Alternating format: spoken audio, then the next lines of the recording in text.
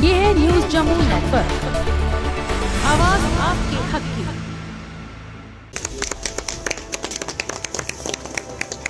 CRPF की 18 battalion ने जिला कुलगाम के यारीपुरा इलाके में सिविक एक्शन प्रोग्राम के तहत एक मेगा चिकित्सा शिविर का आयोजन किया। इस अवसर पर जिला विकास आयुक्त कुलगाम अतर आमिर खान मुख्य अतिथि थे।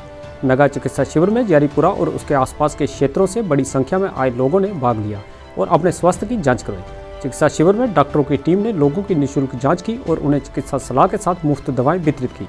इस अवसर पर डीसी कुलगाम ने सीआरपीएफ की 18 बटालियन की पहल की सराहना करते हुए कहा कि इस तरह के चिकित्सा शिविर दूरदराज के क्षेत्रों के लोगों के लिए ज़रूरी राहत प्रदान करते हैं। उन्होंने कहा कि सिविक एक्शन प्रोग्राम के तहत आयोजित होने वाले इस तरह के कार्यक्रम सीआरपीएफ की प्रतिबद्धता का प्रमाण है। सीआरपीएफ एटीन बटालियन है। ये continuously community engagement social programmes पूरे ज़िले भर में कर रही है। कई सारे कैंप्स आज इनका इनफैक्ट एटीन आठवां कैंप एट्थ कैंप है जो मेडिकल कैंप ऑर्गेनाइज किया गया था। आज ये जो है यारीपुरा में किया गया है। सो इसको they have also collaborated with our district health authorities district health administration जो हमारे यहाँ लोकल सब डिस्ट्रिक्ट हॉस्पिटल हैं उनकी पार्टिसिपेशन भी इसमें है।